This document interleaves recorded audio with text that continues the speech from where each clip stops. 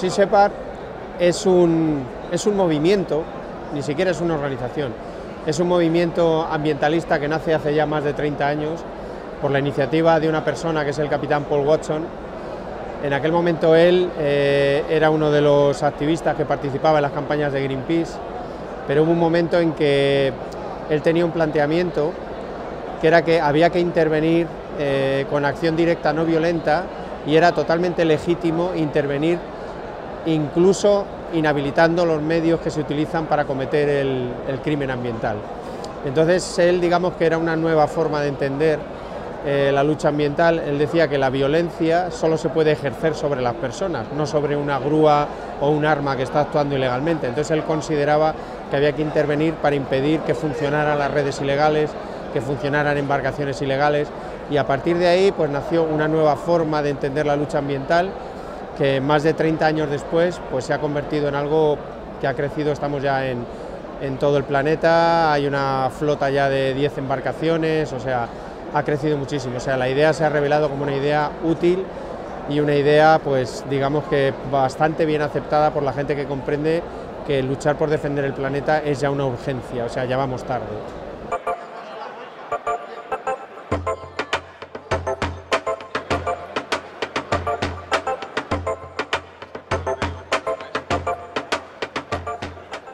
AOL Radio es al otro lado del espejo. Al otro lado del espejo es el nombre que hemos puesto a este programa y que surgió mm, de casualidad precisamente eh, un día que trajimos a la radio un mago.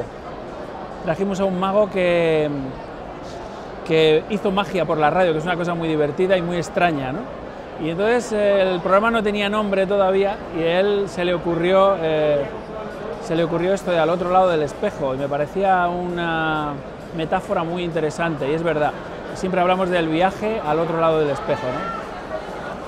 Nuestro ánimo desde luego es eh, colaborar con, los mensajes que desde muchísimos estamentos, desde muchísimas organizaciones, eh, organizaciones gubernamentales, eh, grupos de voluntarios, gente muy activa por todo el planeta, digámoslo así, que, estamos, eh, que están trabajando en favor de eh, la, biodiversidad, el, equilibrio marino, la protección de los mares. Eh, necesita llegar a la gente. La gente, en, en muchas ocasiones la sociedad vive de espaldas al mar, incluso la gente que más cerca vive del mar, viven de espaldas al mar. Es más, la gente que vive directamente del mar, tampoco es plenamente consciente de, lo que hay ahí abajo. O sea, tiramos las redes, tiramos el sedal, sacamos el producto, pero lo demás eh, está, un poco, está un poco fuera. Entonces, necesitamos hacer que el mensaje llegue y al otro lado del espejo, desde luego, forma parte de eso. Nos interesa todo lo que viene del mar y todo lo que, lo que puede volver al mar. Entonces, em, intentamos ser soporte, intentamos ser soporte de alguna manera de, todo aquello. Somos Nakawe Project, somos una organización de conservación marina, una ONG de conservación marina. Estamos enfocados exclusivamente en el tiburón. En principio ahora estamos trabajando con eh, tiburón. Eh, eso es debido a que está en el top de la cadena trófica marina y debido al problema que puede haber si desaparece investigadores dicen que en 50 años seguramente puede ser que desaparezca el tiburón. Esto puede producir un efecto en cascada que puede ser determinante en los mares y no solo en los mares, sino científicos, que yo no soy científico, pero escucho investigaciones que nos dicen que, que pueden haber también efectos en la Tierra. básicamente estamos ubicados, somos muy jóvenes, hace dos años que empezamos con la ONG y estamos ubicados en Barcelona, pero tenemos sobre todo proyectos un poco distribuidos por todos lados.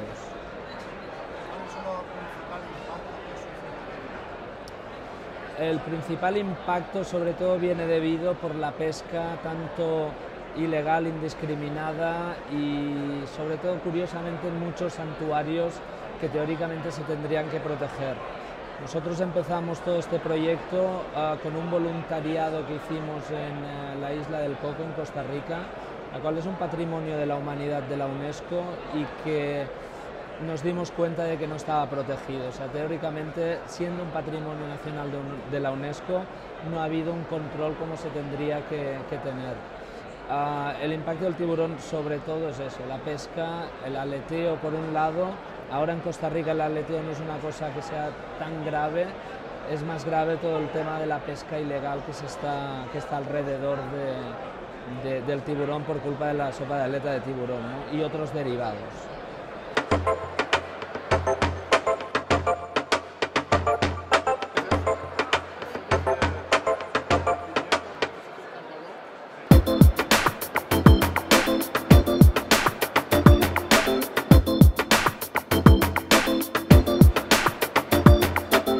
Biblioteca de buceo es tener un centro de documentación lo más grande posible, con toda la información marina, submarina, entorno marino, para aumentar el conocimiento y ayudar a preservar la mar. La fundación está registrada en el Ministerio de Medio Ambiente y es una fundación ecológico-medioambiental. El objetivo es limpiar la mar en la medida de nuestras posibilidades, nada más. Y la biblioteca es ir creando algo para que algún día entre en la red y que Europa, Europa entera, pueda disponer de conocimientos. Nosotros somos una asociación fundamentalmente de buceadores que nos dedicamos a defender los tiburones en general y en particular el, tiburón ángel, escuatina escuatina o también denominado angelote, que es una de las especies incluida dentro eh, del grupo de las 100 especies más eh, amenazadas del, mundo animal. Eh, afortunadamente en Canarias podemos disfrutar en la inmersión eh, de este animal de manera bastante frecuente y no nos damos cuenta de que tenemos un, tesoro escondido en nuestras aguas porque esta especie ha sufrido, está casi al borde de la extinción en toda su área de distribución, el Mar del Norte, el Atlántico Norte y el Mediterráneo y sin embargo en Canarias pues lo tenemos de manera habitual. Bueno, en general eh, lo que le ha llevado casi a estar extinguido en la zona de distribución ha sido la pesca de arrastre. Este es un animal que se conoce ya desde los ríos, se ha aprovechado su carne y su piel eh, desde antiguo, pero son, fundamentalmente la pesca de arrastre. ¿Qué ocurre en Canarias? Que como tenemos, eh, no hay casi plataforma continental, no se practica la pesca de arrastre. Y de manera habitual nos lo encontramos, es un animal bentónico, nos lo encontramos enterrado eh, es un animal nocturno, durante el día no, no, no lo solemos ver eh, que no esté desenterrado, pero eh, nos lo encontramos de manera, de manera habitual. ¿Qué nos ocurre en Canarias y por qué nos hemos constituido en una, en una asociación? Pues que hay empresas de pesca deportiva que aunque ellos no pueden pescar animales eh, bentónicos, pues cuando no consiguen la pesca suficiente para sus clientes, pues nos llevan a la, parte poco profunda y capturan angelotes y lo publican en la web. Este es uno de los pocos tiburones que está protegido de manera, de manera legal por la Unión Europea y por supuesto en España. No se puede pescar y no se puede subir a bordo.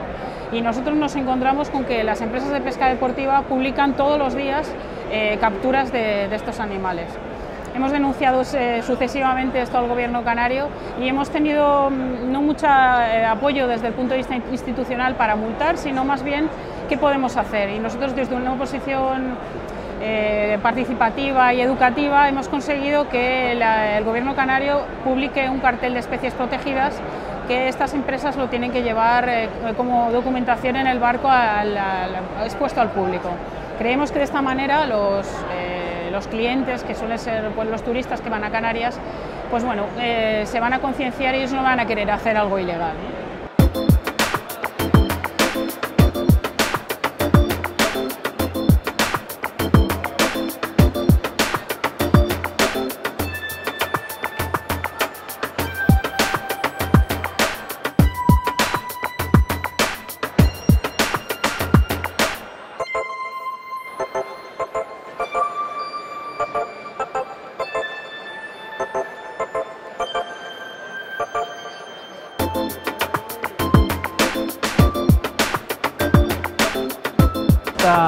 Red de vigilantes marinos está, está llegando a la gente y está enviando mensajes eh, realmente interesantes y, contundentes.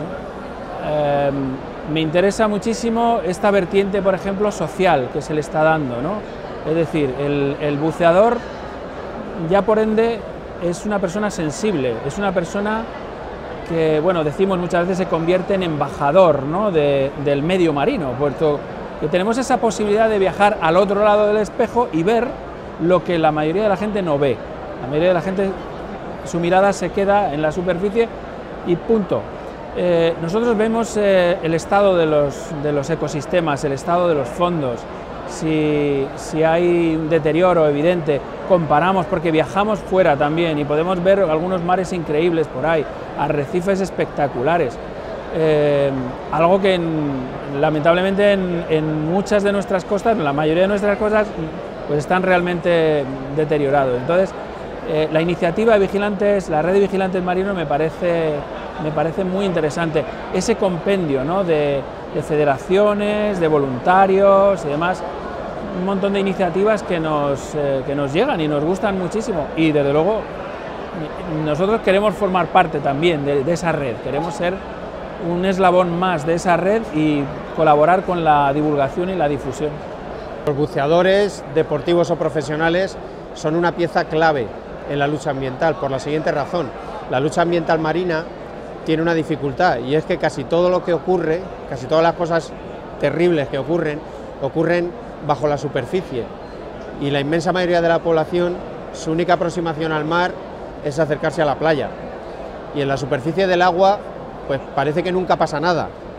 Entonces, ¿qué ocurre? Que los buceadores son la gente que penetra esa barrera, entra y ve lo que está ocurriendo aguas abajo, pues hasta el límite que tiene la profundidad de buceo. Pero claro, es importantísimo porque si tú no te, si tú no te sumerges, si no haces una inmersión y no haces una inmersión durante años y vuelves al mismo sitio, prácticamente para la población es imposible ver en primera persona qué es lo que está ocurriendo, salvo que alguien lo filme y se lo muestre. Entonces los buceadores, por supuesto, son testigos directos hasta los 40 metros, por ejemplo, son testigos directos de lo que están pasando. O sea, es la, la participación de los buceadores yo la veo como fundamental. Los centros de buceo en la concienciación, sobre todo sobre las limpiezas de fondo, sobre todo lo que tenemos eh, debajo de nuestras aguas, es eh, que el buzador debemos y tenemos que concienciar la basura que hay. Gracias a lo que estamos haciendo aquí, desde FEDAS y la red de vigilantes marinos, tenemos, estamos concienciando cada vez un poquito más con lo que son las limpiezas de los fondos. Nosotros hemos presentado la, limpieza de la bahía de Mazarrón, somos el centro de buceo del sureste y tenemos a más de 180 buceadores que fueron los que estuvieron haciendo las limpiezas. Desde aquí decirle a todo el mundo que la concienciación que tenemos que tener, si queremos tener un mar limpio, tenemos que juntarnos, tenemos que hacer organizaciones, tenemos que hacer animarnos y sin ningún lucro y sin ningún nada, coger y limpiar nuestro mar, coger y quitar nuestros plásticos, coger y no echar y aparte de todo eso enseñar a nuestros alumnos a nuestras cosas que son solamente, no es enseñar a bucear, sino solamente es coger y enseñar a la concienciación. De la red de vigilantes marinos, como nosotros somos también colaboradores, eh, tenemos una iniciativa por, España con FEDAS, ¿vale? que estamos haciendo lo más posible para que estos fondos estén limpios, sanos y demás, que no tengamos tortugas encarceladas, que no tengamos congios, cuidado con las redes fantasmas, que nos encontramos cabos a la deriva, que nos encontramos eh, muchas bolsas, que nos encontramos muchas cosas. El... principal problema de los residuos es que no se sabe la magnitud de lo que estamos hablando. O sea, recién hace unos cuatro años hasta la actualidad es donde se están haciendo tesis doctorales e investigación acerca de, de qué es lo que estamos hablando, cuál es la cantidad, cuántos residuos hay y los datos que tenemos y que estamos obteniendo superan notoriamente nuestras expectativas. O sea, entonces, frente a eso, una de las cosas que, de las iniciativas que, hemos tenido dentro del Comité de Medio Marino es la gran limpieza de fondos, que hubo que era a nivel nacional un fin de semana, todos los centros de buceo, clubes de buceo y, otros, eh, otros centros que se quisieron implicar eh, se, aunó los esfuerzos para hacer una limpieza de fondos marinos un mismo fin de semana, de manera que se les dio la herramienta para no solo limpiar y poder participar todos los buceadores y todas las personas, buceadores y no buceadores, que querían en esa iniciativa, sino que se le da las herramientas para cuantificar, que es lo importante, cuantificar cuántos residuos se recolectan, porque parece ser que debajo de lo que es la cota cero, ya como no se ve, ahí parece que no existe, pero sí que existe y hay muchos residuos.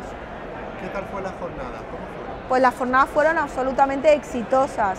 Hubo muchísima participación en todas las provincias de toda España.